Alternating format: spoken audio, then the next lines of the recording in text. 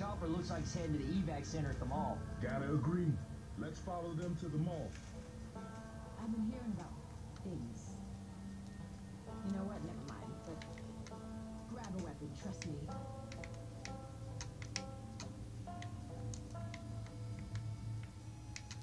Y'all know what the hell